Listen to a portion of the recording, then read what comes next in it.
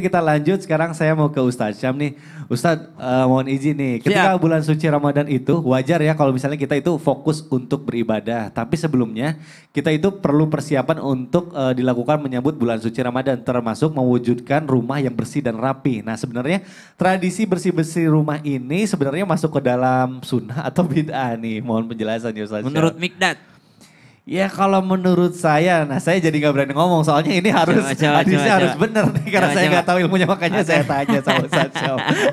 Silakan Ya, guru. secara akal manusia saja kita tidak usah bahas dengan dalil akal manusia senang harusnya bersih-bersih sih ya supaya Iya. kita juga bersih gitu melaksanakan Betul. ibadahnya. Baik. Betul. Abi? Utsman, Ustaz Maulana. Mas Mikdad serta guru-guru kami yang dimuliakan Allah Subhanahu wa taala.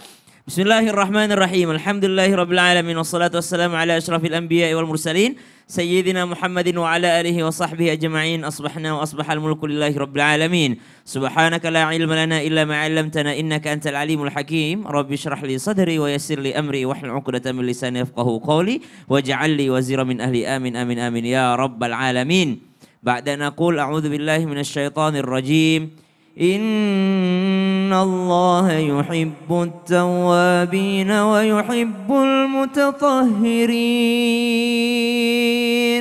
Sesungguhnya Allah mencintai orang-orang yang bertaubat dan Allah mencintai pula orang-orang yang membersihkan dirinya atau bersuci atau bersih-bersih. Maka kalau dikatakan apakah bersih-bersih itu tradisi yang sunnah atau tradisi yang bid'ah? Justru dia adalah tradisi yang wajib. Karena Allah mencintai bersih-bersih. bersih-bersih. Dalil yang kedua. Ya ayyuhalladzina amanu idza qumtum ila salah إذا قمتم إلى الصلاة فاغسلوا وجوهكم وأيديكم إلى المرافق وامسحوا برؤوسكم إلى آخر الآية Wahai orang-orang yang beriman, ketika ketika engkau hendak mendirikan salat, maka basuhlah wajahmu, bersihkanlah tanganmu, berwudu maksudnya. Dan itu termasuk daripada bersih-bersih atau bahasa Arabnya toharoh. Maka subhanallah wajib bersih-bersih sebelum melaksanakan ibadah. Bukankah bulan Ramadan isinya ibadah semua?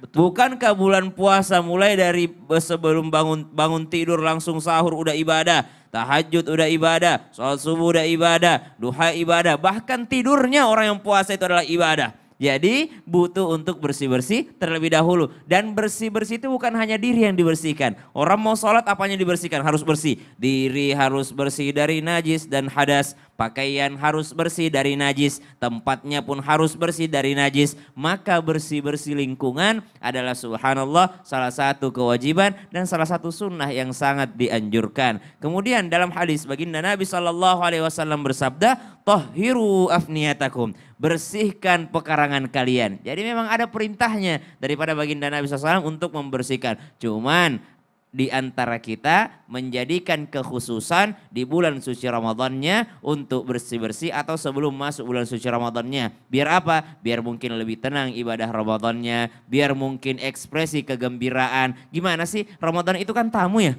Tamu kalau mau datang ke rumah, kita biarin kotor rumah atau kita bersihin dulu? Bersihin dulu Bersihin lah. dulu dong. Apalagi ini yang mau datang tamu agung nih. Betul. Bulan Ramadan yang hanya datang sekali dan tahun depan tidak kembali lagi. Kenapa? Ramadan yang ta- datang tahun ini berbeda dengan Ramadan yang akan datang tahun depan. Wallahu ta'ala Waduh, masya Allah. Jadi wajib hukumnya kita Iya menjaga dong. kebersihan itu. Eh, bentar-bentar. Halo, waalaikumsalam. Hah, mandi bersih? Iya, udah mah. Iya, Isel sama Jo juga udah. Iya, iya, iya. Bentar ini lagi ini dulu lagi syuting dulu ya. Ya udah ya. Siapa sih yang dibersih? Mama nyuruh mandi bersih. Siapa? Karena mau menyambut bulan suci Ramadan mama saya, Gue Ustaz. curiga nih. Eh, kok curiga sih? Curiga nih kalau udah mandi bersih kayak gini. Ya Allah jangan curiga. Ustaz Syam jadi gini dari dulu mama aku tuh selalu nyuruh sebelum menjelang puasa itu aku disuruh mandi bersih dengan tujuan supaya kita itu bersih dan kembali ke suci gitu. Tapi ngomong-ngomong itu sunnah atau bid'ah ya? Aduh. Gak baik sih kayaknya itu. Waduh. Gak ya. baik maksudnya? Mandi bersih yang ditanyakan Mikdad itu gak baik kalau kita bahas sekarang. Ya. Allah saya udah kaget. jadi kapan dibahasnya? Nah, kepotong nanti dipotong-potong orang oh, iya. tosianya ntar ya, jadi ya, malah. Benar ya habis ini iya, dibahas ya, ya Masya Allah. Allah. Baik tetap di Islam Tina. Jamaah, jamaah. Alhamdulillah. Alhamdulillah.